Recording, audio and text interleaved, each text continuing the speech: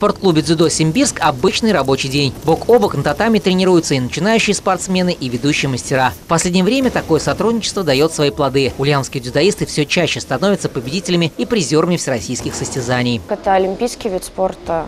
Во-вторых, это спорт президента.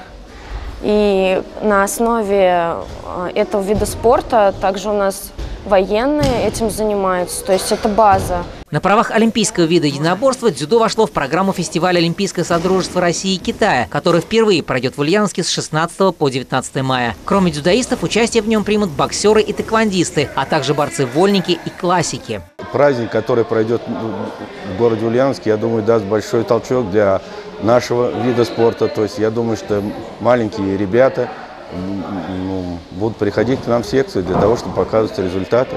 Совместные тренировки, а также состязания в формате стенка на стенку. Фестиваль призван показать всю красоту и мощь пяти олимпийских видов единоборств, что развивается в Ульяновской области. Регион ждет гостей из нескольких регионов страны. Но изюминка фестиваля, который проводится на средства президентского гранта, это участие 50 спортсменов из Китая. Нам очень интересно приглашать э, сюда иностранцев.